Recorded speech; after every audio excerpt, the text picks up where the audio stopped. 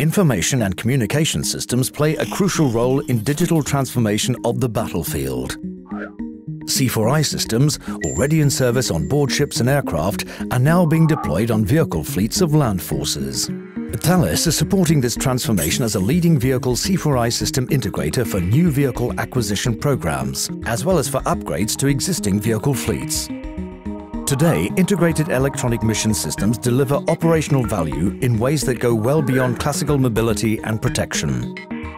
For modern land forces, mission success hinges on the ability to process growing volumes of tactical data. This means networking different units on the move, C4I systems open up new horizons for land forces with new capabilities like shared situational awareness and decision support and all the benefits of integrated command chains and optimized logistics.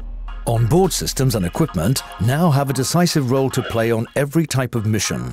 Combat, reconnaissance, command and support. Every type of vehicle, from main battle tank, infantry fighting vehicle, an armored personnel carrier, to logistics vehicle and mobile command post will ultimately be equipped with this type of capability. Over the last few years, Thales has been gaining traction in this growing market.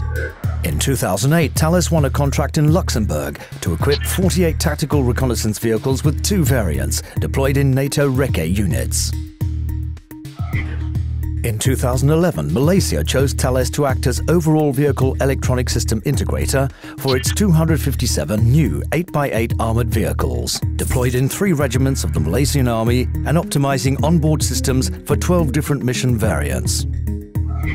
In 2013, Qatar selected Thales to digitize an entire brigade, ultimately providing integrated C4I mission systems on every type of mission.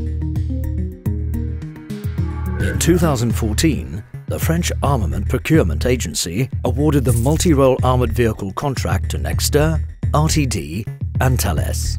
As part of the French land defence modernisation programme, Thales is providing innovative technologies for onboard vehicle electronic systems to facilitate land force missions. Some 2,000 vehicles will be delivered to forces as from 2018.